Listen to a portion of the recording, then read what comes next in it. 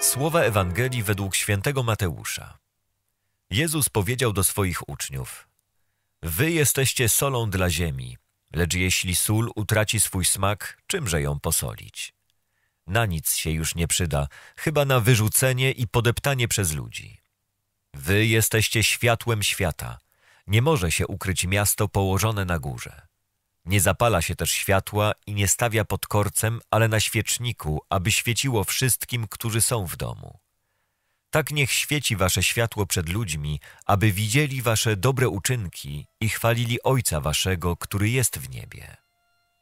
Upodobnić się do Boga, stając się jak On światłością, która rozprasza ciemności świata, to nie utopia, ale realne zadanie – jakie winni wypełnić w swoim życiu uczniowie Chrystusa.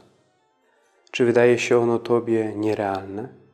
Jeśli tak, to pomyśl przez moment o setkach tysięcy chrześcijan, którzy we wszystkich zakątkach ziemi i we wszystkich możliwych okolicznościach życia świadczyli i świadczą o Chrystusie, osiągając przy tym palmę zwycięstwa. Droga do świętości nie jest drogą zbyt trudną dla Ciebie.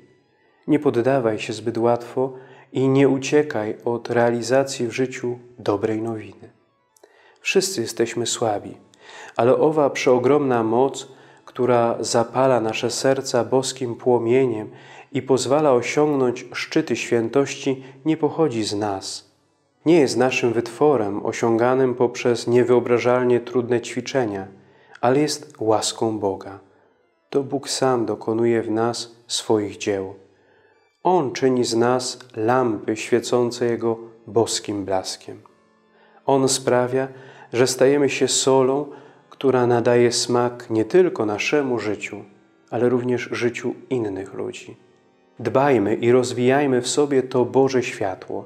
Niech ono, wychodząc z naszych wnętrz, z naszych serc, rozprasza mroki grzechu i da światu nową nadzieję, nadzieję zbawienia.